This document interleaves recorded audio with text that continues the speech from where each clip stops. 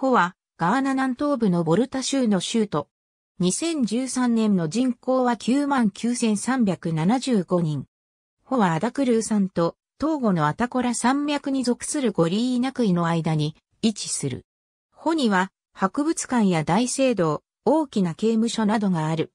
ホは、バナコエとヒグブの二つの村が合体して誕生した。バンコエ人のグループは、アリーホに移住し、一方新たにアホエ人とドーム人が移住してきた。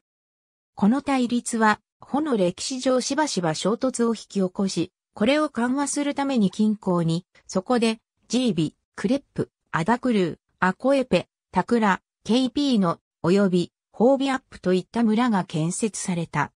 ホは19世紀にドイツ領トーゴラントに属するようになり、第一次世界大戦が終了すると、国際連盟の委任統治領として、イギリス領トーゴランドの首都となった。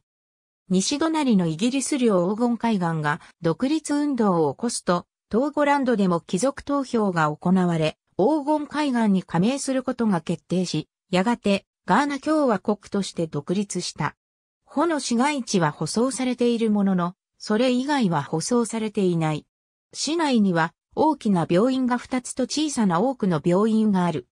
コはガーナ及び東郷の人々を引きつける露天市場があり、またカトリックの補強区や補強議場もある。ワールドゴゼター閲覧日、2017年7月14日。ありがとうございます。